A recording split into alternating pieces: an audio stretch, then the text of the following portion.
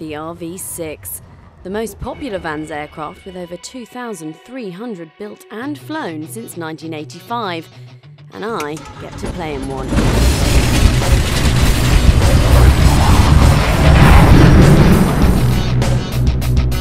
The first thing I notice about the RV6 is this huge canopy.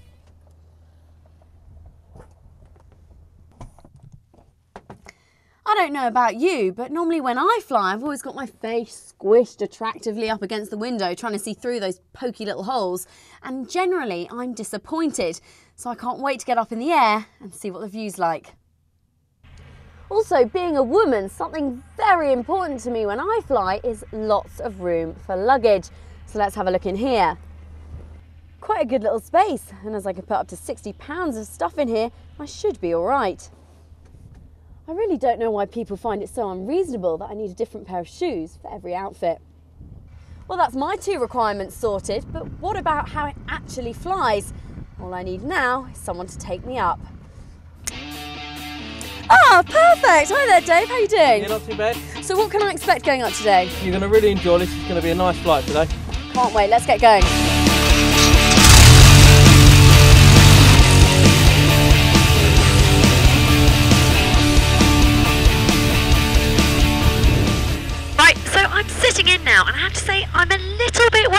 That I can't see in front of me. Doesn't it make it a little hard to take off when you can't see? Um, yeah, you can't see directly ahead, but you can when you taxi. You can zigzag from side to side, so you can actually see where you're going. And when you're taking off, you push the nose forward, um, lift the tail up, and you can actually see where you're going from then on. Because in the RV6A, there's actually a nose wheel, isn't there? So you That's can right. see. Is that not better? Um, some people like nose wheels, some people like tail draggers. I prefer tail draggers myself. And why would that be, Dave? Well, tail draggers are a man's plane, aren't they? Ah, that's how it is. And off we go. Let's see how quickly this baby can take off. And we're off. Brilliant. Woo! Up we go. What's the climb speed in one of these? Uh, we're climbing at 2,000 feet a minute at the moment. You still, uh, you still really can't see of you. Like I've got instruments. I am sure. Oh yeah, you can see. She may be, she may be all I ever need. We're up in the clouds now, so things are getting a bit hazy, but you can get an idea of the sort of speed we're going at by just looking how fast we're getting past all these clouds.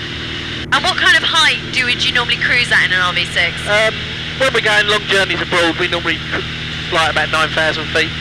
Any higher than that, um, it starts to get a bit cold. It's good for fuel economy, you can lean the engine out. Um, the airplanes tend to fly a bit faster when they're higher as well. So we'll go and uh, give Rick a quick wave.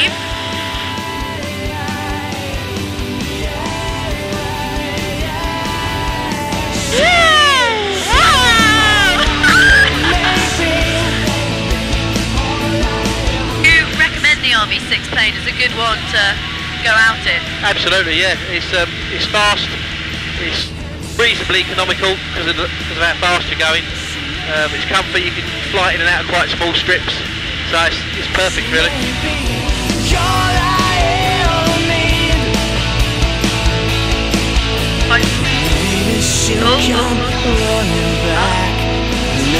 She'll come running back to me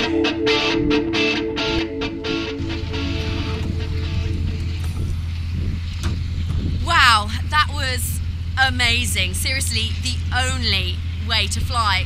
I could get quite used to being a passenger and being flown about, but really, I just can't wait to get up there and fly myself.